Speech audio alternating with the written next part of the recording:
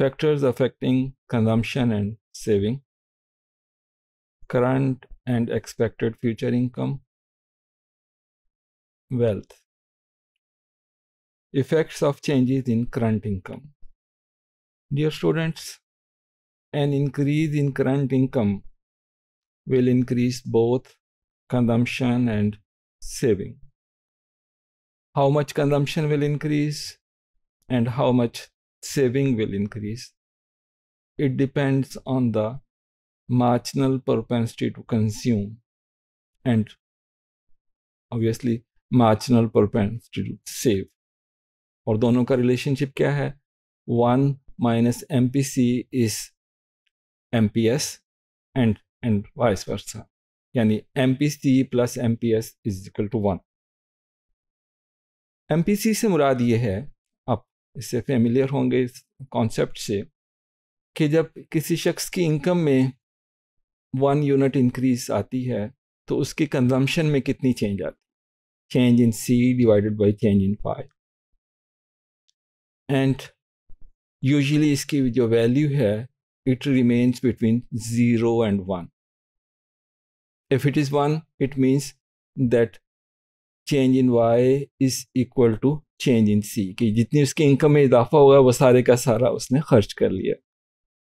और अगर ये ज़ीरो है तो इसका मतलब ये होगा कि जितना इनकम में इजाफा हुआ है, वो सब का सब उसने सेव कर लिया। तो usually it lies between zero and one ठीक है? सपोज़ अगर ये पॉइंट सेवन है तो इसका मतलब ये होगा कि जब इनकम में वन यूनिट इंक्रीज होगी तो seventy percent of that increase will be use for consumption purposes the remaining thirty percent will be for saving purpose. So MPC की वैल्यू कितनी होगी? ये वन के करीब होगी, या ज़ीरो के करीब होगी एक्चुअली कितनी होगी? ये किस पे डिपेंड करता है? ऑब्वियसली ये मजाज पे डिपेंड करता है, लोगों की विलिंगनेस टू डेफर सेटिस्फेक्शन कि आज वो पॉइंट सेवन है तो इसका मतलब ये है कि वो थर्टी परसेंट अपनी आज की इनकम जो है, वो वो यूज़ करेंगे फ्यूचर कंजम्पशन के लिए। पॉइंट फोर अगर MPC की वैल्यू है तो इसका मतलब वो लार्जर पोर्शन अपनी करंट इनकम को यूज़ करेंगे फ्यूचर कंजम्पशन के लिए। तो वो किस तरह से, उनका क्या मजाज है और किस तरह से अपनी यूटिलिटी को लाइफ टाइम यूटिलिटी को मैक्सिमाइज करना चाहते हैं। इंडिविजुअल इनफैक्ट अपनी टोटल लाइफ टाइम यूटिलिटी पर नज़र रखते हैं और वो उसको मैक्सिमाइज करना चाहते हैं। तो जो भी उनका मिजाज है, उसके मुताबिक। पेशेंस वाले लोग हैं तो वो ज़ाहिर है चाहेंगे कि उसमें स्मूथनेस हो और और वो लॉन्ग टर्म उनकी सोच होगी। इम्पेशेंट होंगे तो वो अपने ज़्यादा करंट कंजम्पशन को प्रायोरिटी देंगे। और इसी तरह हर शख्स की जो अपनी करंट और फ्यूचर नीड्स हैं, उसकी जो असेसमेंट है, वो भी उसकी एमपीसी की वैल्यू को डिटरमिन करेगा। सो एग्रीगेट लेवल पर, ये तो इंडिविजुअल लेवल पर हम बात कर रहे थे। एग्रीगेट लेवल पर हम बात करेंगे। तो जब भी आपकी नेशनल इनकम बढ़ेगी so this increase in national income will increase your desired consumption, but this increase in consumption will be less than the increase in income अभी जो हमने बात की है कि एम पी सी की जो वैल्यू है ये usually it lies between zero and one it remains below one so जो आपकी कंजम्पशन बढ़ेगी ये इनकम में इजाफे से इसमें इजाफा कम होगा। तो इस इसका फिर मतलब ये निकलता है कि जब इनकम बढ़ेगी तो दोनों चीज़ें कंजम्पशन भी बढ़ेगी और आपकी नेशनल सेविंग भी बढ़ेगी।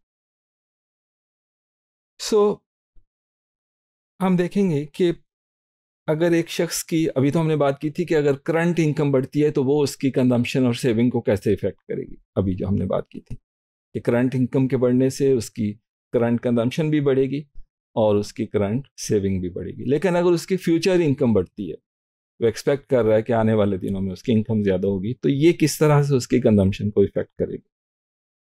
इस कॉन्टेक्स्ट में जो इम्पोर्टेंट प्रिंसिपल है, वो स्मूथिंग मोटिव है। कि हर शख्स ये चाहता है कि उसका लाइफ जो है, वो एक स्मूथ रहे, उसमें बहुत ज़्यादा फ्लक्चुएशंस ना आए। रादर उसमें ग्रेजुअली उसमें इम्प्रूवमेंट आती चली जाए। तो जब वो एक्सपेक्ट करता है कि उसकी फ्यूचर इनकम बढ़ रही है तो या बढ़ेगी तो उसके नतीजे में फिर वो क्या करेगा? वो अपनी करंट कंजम्पशन को भी इंक्रीज कर देगा। राइट करंट कंजम्पशन को इंक्रीज करने के नतीजे में क्या क्योंकि उसकी करंट इनकम तो नहीं बढ़ी ना, सिर्फ़ वो एक्सपेक्ट कर रहा है कि उसकी फ्यूचर इनकम बढ़ेगी। उस फ्यूचर इनकम के बढ़ने को, के नतीजे में वो अपने करंट कंजम्पशन को बढ़ा रहा है। तो इसके नतीजे में क्या होगा कि उसकी करंट कंजम्पशन तो बढ़ेगी, लेकिन उसकी करंट कंजम्पशन करंट सेविंग कम हो जाएगी। तो ये ये बात आपने समझनी है कि करंट इनकम के बढ़ने से करंट कंजम्पशन और सेविंग दोनों बढ़ते हैं। जबकि फ्यूचर इनकम के बढ़ने से करंट कंजम्पशन बढ़ती है और करंट सेविंग कम हो जाती है। ये ये डिफरेंस आपने समझना है। करंट सेविंग क्यों कम हो रही है? इसलिए कि उसकी इनकम नहीं बढ़ी और कंजम्पशन बढ़ी है तो ऑब्वियसली उसकी सेविंग कम हो जाए। ओके। इसके बाद हम ये देखेंगे कि अगर किसी शख्स की इनकम नहीं बल्कि उसकी वेल्थ में चेंज आती है तो उसका उसकी कंजम्पशन और सेविंग पर क्या इम्पैक्ट होगा? इनकम और वेल्थ का डिफरेंस तो आप समझते होंगे, ठीक है? इनकम तो एक तरह का फ्लो का कॉन्सेप्ट है कि हर किस, हर शख्स को हर महीने, हर हफ़्ते, सालाना बेसिस पर कितनी अमाउंट वो अर्न कर रहे हैं ना? जबकि वेल्थ इनकम के बरक्स एक स्टॉक कॉन्सेप्ट है, ठीक है? कि एक शख्स की वेल्थ जो है, वो हमेशा किसी एक पर्टिकुलर पॉइंट इन टाइम के रेफरेंस से हम उसको कैलकुलेट करते हैं कि आज के दिन उसकी वेल्थ क्या है। जबकि इनकम को जब हम मैयर करते हैं तो एक टाइम पीरियड के हवाले से कि उसकी मंथली या वीकली या जो भी उसकी एनुअल उसकी इनकम क्या है। तो ये फ्लो इकोनॉमिक्स में आप जानते हैं, दो तरह के कॉन्सेप्ट होते हैं फ्लो और stock variable so income is a flow variable और wealth is the stock variable so wealth की एक सिंपल सी डेफिनेशन ये कि किसी शख्स के टोटल एसेट्स क्या हैं और उसमें से उसकी लाइबिलिटीज़ को हम सब्ट्रैक्ट कर देंगे तो ये उसके पास टोटल वेल्थ आ जाएगी। वेल्थ में इजाफे के बेशुमार उसमें सूरतें हो सकती हैं। एक जो बहुत कॉमन है, वो ये कि स्टॉक मार्केट में जब बूम आता है तो ये लोगों की वेल्थ में इजाफे का बायस बनता है। तो हम देखेंगे कि इस तरह से वेल्थ में इजाफे से क्या होगा? लोगों की कंजम्पशन पर क्या उसका असर पड़ेगा? सो so, वेल्थ के बढ़ने से भी लोगों की करंट कंजम्पशन बढ़ जाएगी। क्यों बढ़ जाएगी? लोग अपने आप को रिच फील करेंगे ठीक है? उनकी इनकम नहीं बढ़ी लेकिन वेल्थ बढ़ गई है। तो अब उन्हें ज़्यादा फ्यूचर के लिए सेव करने की ज़रूरत नहीं है। सेव क्यों कर रहे थे ताकि फ्यूचर में वो अपने वेल्थ इंक्रीज करना चाहते थे और फ्यूचर में अपना लाइफस्टाइल को इम्प्रूव करना चाहते थे, उसके लिए वेल्थ उनके पास अवेलेबल है। तो वो वेल्थ के बढ़ने की वजह से अब अपनी करंट कंजम्पशन को बढ़ा देंगे। और बिल्कुल उसी तरह जैसे हमने पिछले स्लाइड में देखा कि फ्यूचर इनकम के बढ़ने से भी करंट कंजम्पशन बढ़ी थी। लेकिन उसके साथ करंट सेविंग कम हो गई थी। तो वेल्थ का भी इसी तरह का इम्पेक्ट होगा कि वेल्थ के बढ़ने की वजह से करंट कंजम्पशन बढ़ेगी और करंट सेविंग कम हो जाएगी। क्योंकि सेविंग को हम कैसे मैयर करते हैं? कि चेंज आपकी सेविंग में कितनी आई है with reference to change in income income तो बड़ी नहीं है वेल्थ बढ़ी है, इसलिए सेविंग कंजम्पशन के बढ़ने से कम हो जाएगी। एक हम और चीज़ देखना चाहते हैं कि जब भी इंटरेस्ट रेट में चेंज आती है और टैक्सेस में गवर्नमेंट जब टैक्स लगाती है, उसमें जब चेंज आती है तो उसके नतीजे में क्या सेविंग पर क्या इम्पैक्ट होता है? इस कॉन्टेक्स्ट में हम जो कॉन्सेप्ट डिस्कस करेंगे, वो ये है कि expected after tax real interest rate आप इस इक्वेशन पर देखें आर रियल इंटरेस्ट रेट के लिए हम यूज़ कर रहे हैं और आई जो है, ये हम नॉमिनल इंटरेस्ट रेट के लिए यूज़ कर रहे हैं। टी टैक्स रेट के लिए यूज़ कर रहे हैं। और pi with exponent e this is for expected inflation rate okay ये मैं रिपीट कर देता हूँ। R real interest rate I nominal interest rate T tax rate and pi e is the expected inflation rate R के subscript में हमने A T लिखा हुआ है, यानी after tax real interest rate after tax किसके इक्वल होगा? One minus T T tax rate था multiplied by nominal interest rate और उसमें से जब आप एक्सपेक्टेड इन्फ्लेशन को माइनस कर देंगे तो ये आपके पास after tax real interest rate आ जाएगा। ओके सो हम नोमेरिकल वैल्यूज़ भी ले रहे हैं।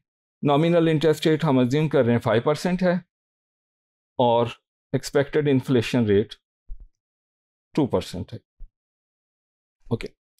पहली एग्जांपल में हम टैक्स रेट अज्यूम कर रहे हैं थर्टी परसेंट के। गवर्नमेंट जो भी हमारे इंटरेस्ट से अर्निंग्स है, उसका थर्टी परसेंट हमें गवर्नमेंट को पे करना पड़ता है। So after tax nominal interest rate क्या हो जाएगा? One minus T times I T क्या है? Thirty percent point three one minus point three multiplied by five so so, इसको आप कैलकुलेट करेंगे तो three point five percent so आपके पास नॉमिनल इंटरेस्ट रेट है फाइव परसेंट और after tax nominal interest rate हो जाएगा थ्री पॉइंट फाइव परसेंट इसका थर्टी परसेंट जो है वो गवर्नमेंट ले जाएगी in the form of tax और अगर आप रियल टैक्स रेट कैलकुलेट करना चाहते हैं एक्सपेक्टेड होगा एक्सपेक्टेड का वर्ड हम क्यों यूज़ कर रहे हैं?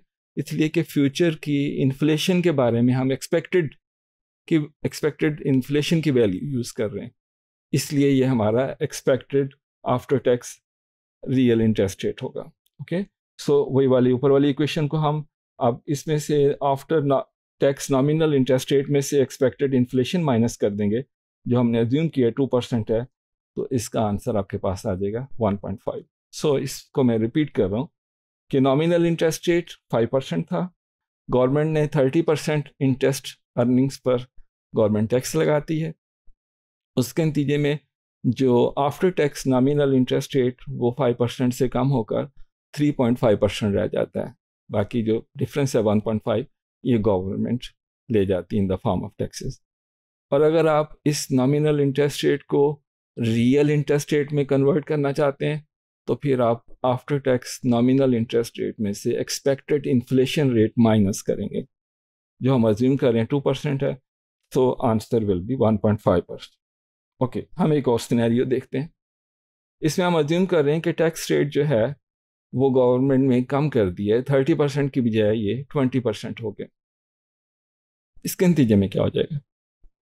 आफ्टर टैक्स नॉमिनल इंटरेस्ट जो है, वो अब फोर परसेंट हो गया। नॉमिनल इंटरेस्ट था क्या? फाइव परसेंट और टैक्स पहले जब थर्टी परसेंट था तो आफ्टर टैक्स नॉमिनल इंटरेस्ट था थ्री पॉइंट फाइव परसेंट और अब टैक्स के काम होने से after tax nominal interest rate हो गया फोर परसेंट और अगर आप इसका real interest rate after tax calculate करेंगे तो इसमें से इन्फ्लेशन माइनस करेंगे तो वो माइनस करने से फोर में से टू परसेंट इन्फ्लेशन माइनस किया तो टू परसेंट आ गया। तो क्या इस सारी बात में, क्या बात, क्या सामने आ रही है? कि जब गवर्नमेंट ने टैक्सेस कम किए तो उसके नतीजे में after tax real interest rate में इजाफा हो गया। 1.5 से ये 2 परसेंट हो गया। 1.5 से 2 परसेंट होने का मतलब क्या होगा? हम एक्सपेक्ट कर सकते हैं कि इसके नतीजे में अब लोगों को सेविंग पर बेहतर रिवार्ड मिल रहा है तो लोग अपनी सेविंग को इंक्रीज कर देंगे।